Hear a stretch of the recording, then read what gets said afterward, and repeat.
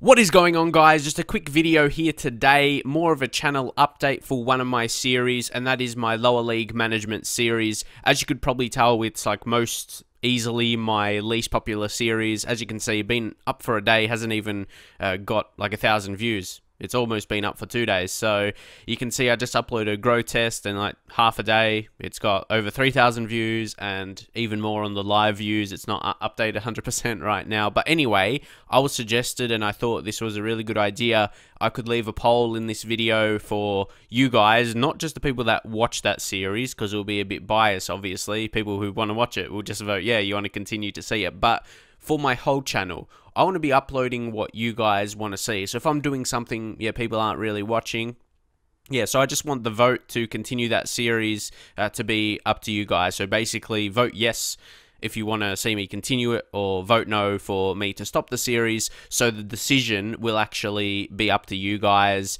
that you guys don't want to see it anymore, and not really a decision of me to stop it, but a decision that you guys who are subscribed to me don't really want to see it. So yeah, up to you guys. So hopefully uh, you uh, can do that.